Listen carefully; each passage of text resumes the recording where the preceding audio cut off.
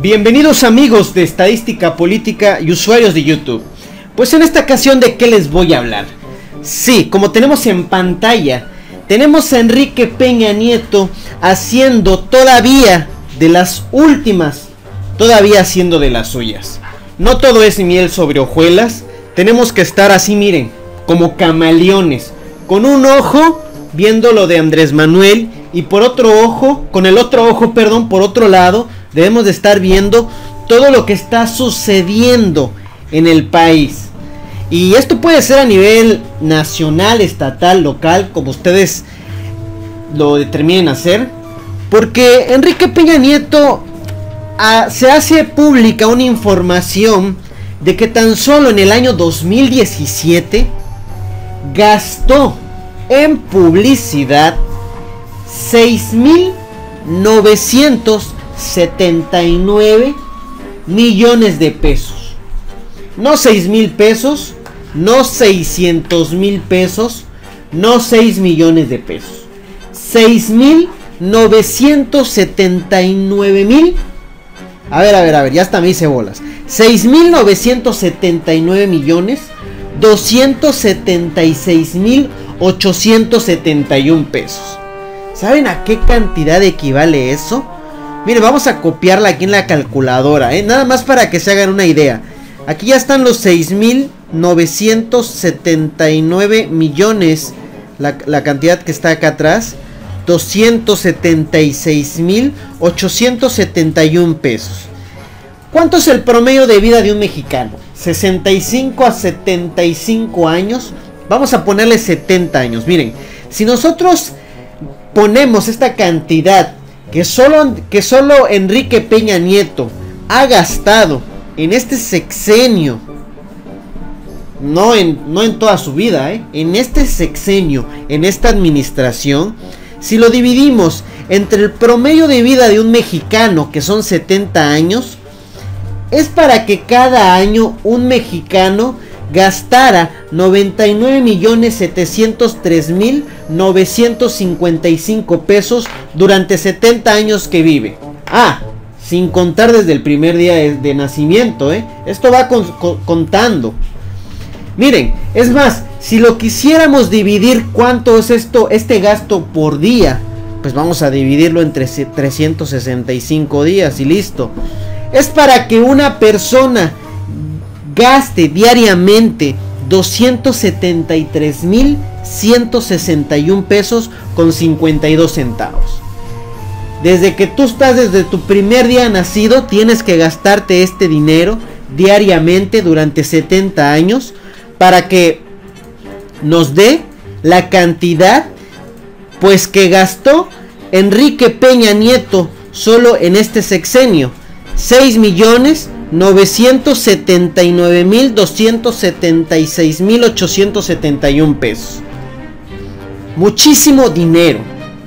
Estamos hablando de miles de millones. Vamos a ver qué dice por acá.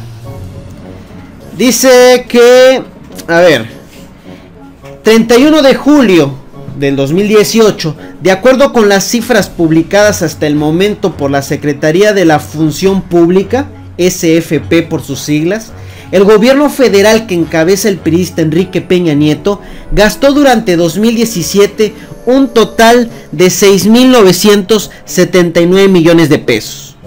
Bueno, aquí ya con los con las con las cifras así, pero yo se los dije redondeado, ¿no? Pero aquí está toda la cantidad exacta.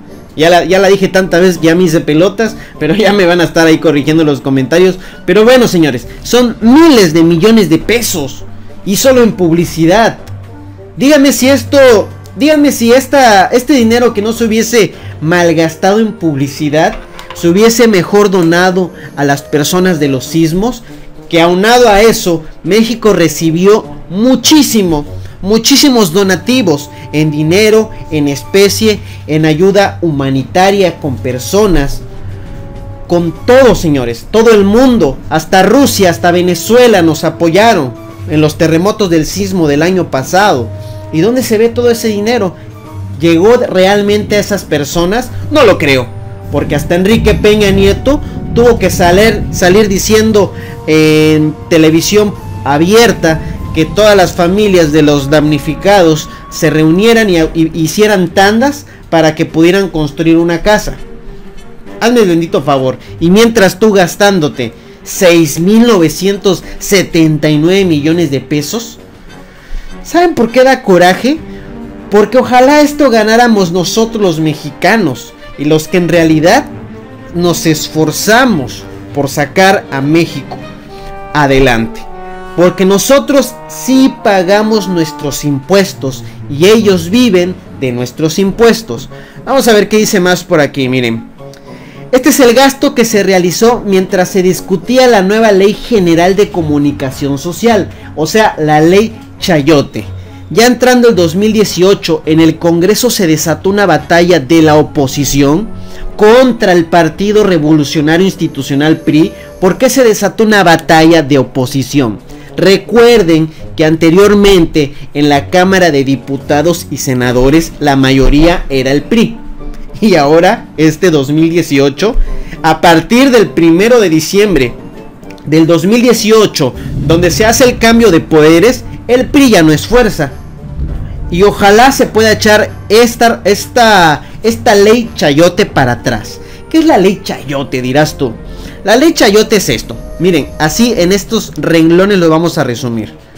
La ley de comunicación social, que así es como se llama en realidad esta ley, ley de comunicación social, ¿qué significa la ley Chayote? Esta es la ley Chayote. Un grupo de 51 legisladores buscan impugnar la Ley General de Comunicación Social, conocida como Ley Chayote, que regulará el gasto de gobierno en los medios de comunicación. O sea, la Ley Chayote regula el gasto que va a ser Peña Nieto o que va a ser todo su gobierno durante su sexenio el gasto que va a hacer a los medios de comunicación social, llámese televisivos, llámese de radio, llámese periódicos, algunas redes sociales, ahí tenemos al pésimo traidor eh, Cayo de Hacha. Eh, en algunas ocasiones daba sus, sus, luces este Chumel Torres. Pero bueno, eh, esto le servía a Peña Nieto para hacer estos, gatos, estos gastos.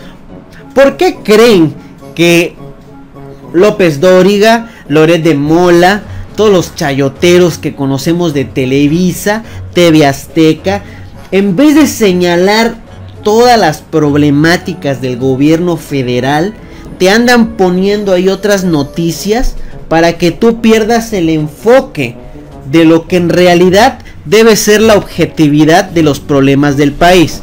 O sea, el, peso pierde su valor. Bueno, actualmente no, porque ya ganó Andrés Manuel López Obrador. Al contrario, el peso ha ganado su valor. Pero no lo están diciendo los medios, ¿o sí? Yo no lo veo. Pero si te decían, recuerden que había una campaña, un bombardeo que decían que si ganaba Andrés Manuel López Obrador, el peso se iba a devaluar. Y por todos lados lo podríamos escuchar a nivel nacional, en todos los medios de comunicación. Nos metían miedo, nos decían que, se, que nos íbamos a ir al, al más allá del despeñadero, que nos íbamos a quedar como Venezuela. Eh, o sea, nos estaban sumergiendo ahora sí que en una crisis, en un, en un susto, en un miedo, no sé, social, para que no votáramos por Andrés Manuel López Obrador.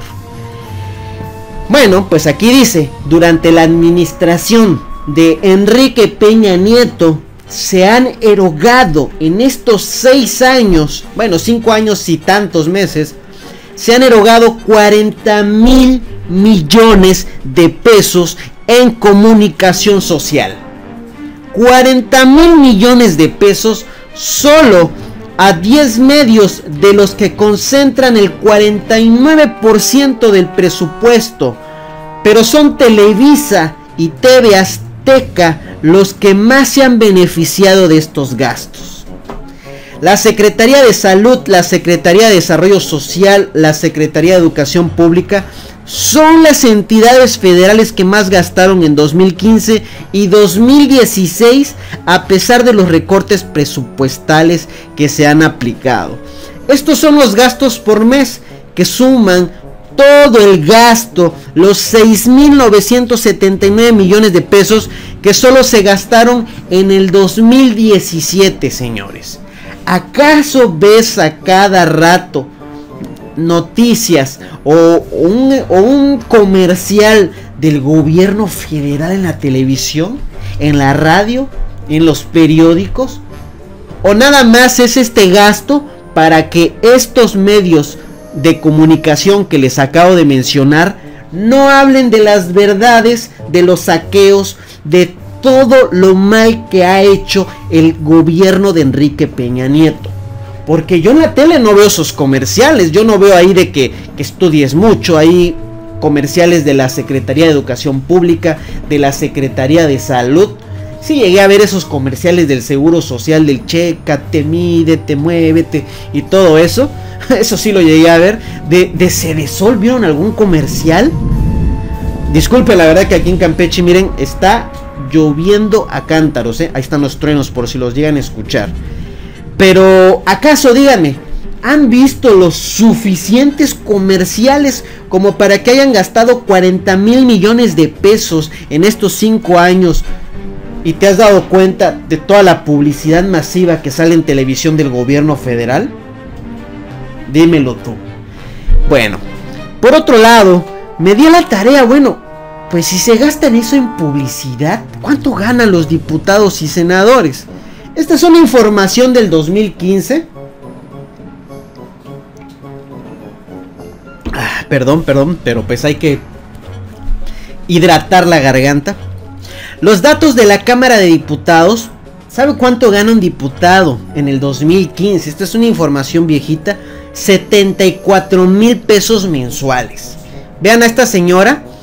¿Qué me ves, pendejo? Dice. ¿Nunca has visto cómo nos ganamos el sueldo los diputados? Miren, hasta sin, sin sus zapatos, que deben de ser muy, muy costosos, que de seguro le han de sacar los callos y son súper incómodos, pero como son de marca y los compró en tal lugar, ah, sí se los pone, pero cuando tiene la oportunidad de quitárselo, los quita, ¿no? Pero mientras, miren cuánto gastan en, sus, en su ropa, en sus zapatos, vestimenta, en sus bolsos. Y eso se los pagamos nosotros. Miren, más, más actualizado, Nación 321 dice los cinco mejores salarios de los políticos de México. En primer lugar, ¿quiénes están? Los ministros de la Suprema Corte de Justicia de la Nación. ¿Saben cuánto ganan mensualmente? Nada más y nada menos que 388.291 pesos. Es decir, que al año reciben más de 4 millones. El segundo, eh, la segunda persona o el segundo salario más pagado en México es el presidente de la República. Es Enrique Peñamiento. ¿Y él cuánto gana? 259.628 pesos mensuales poco de más de 3 millones de pesos al año. Y luego están los consejeros del INE. Aquí tenemos al racista de Lorenzo de Córdoba. ¿Cuánto gana él? Ah, gana casi lo mismo que el presidente, ¿eh? 249.757 pesos al mes, señores. Cerca de 2 millones, no, cerca de 3 millones de pesos al año. Después siguen los magistrados del Tribunal Electoral que ganan mensualmente 249.423 pesos, lo que arroja un total de cerca de 3 millones de pesos al año.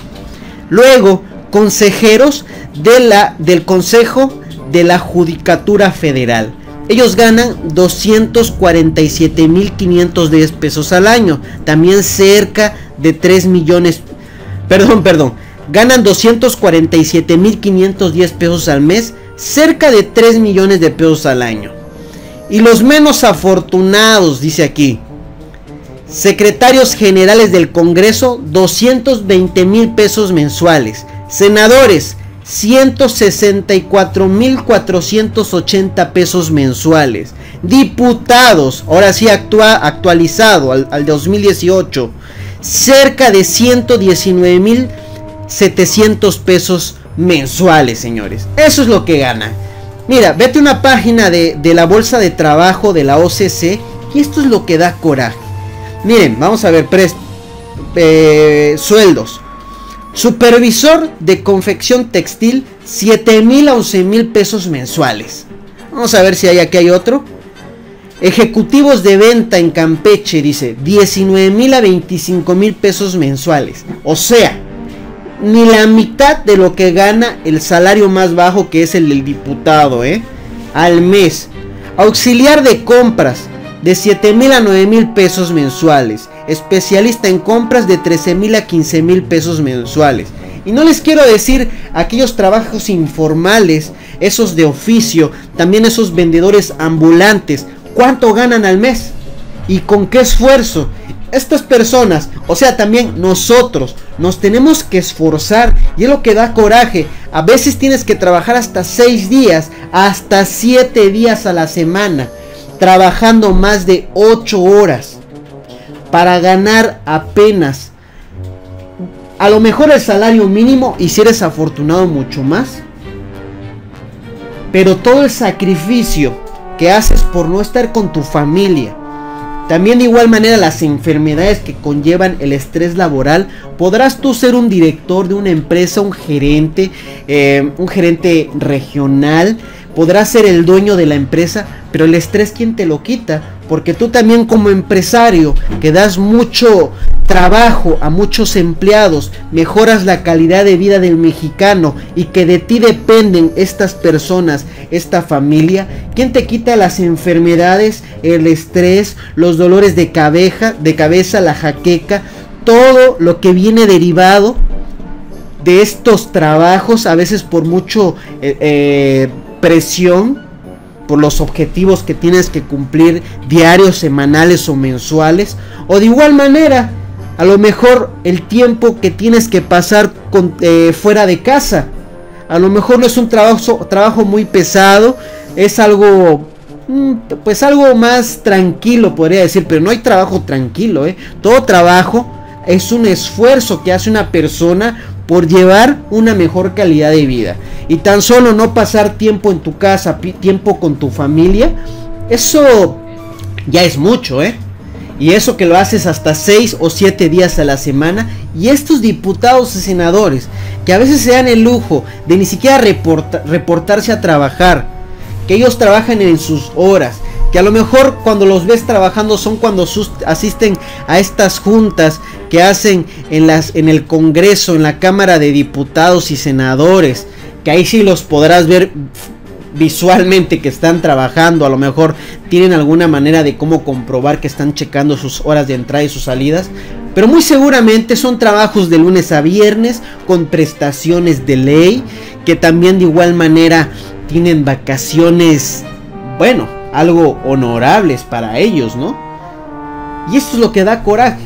Luego, cuando vienen las pensiones, te jubilas con una miseria.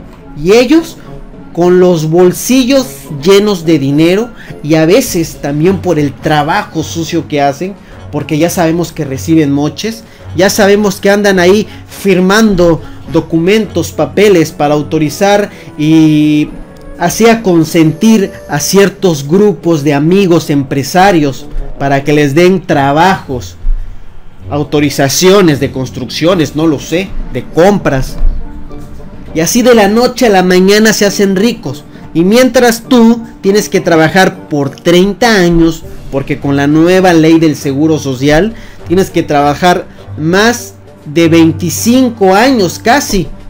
25 años en semanas cotizadas más o menos por ahí. Y ya no, ya no recibes una pensión, recibes el bendito Afore que te van a calcular al final, bueno, esto juntaste en tu Afore, te vamos a, calcular que vas a vivir 10 años más de vida y te vamos a dividir ese dinero que juntaste entre 10 años y ahí está tu, tu dinero mensual. ¿Se les hace justo? A mí no. A mí la verdad no. Y da coraje. Como por eso, por eso roban.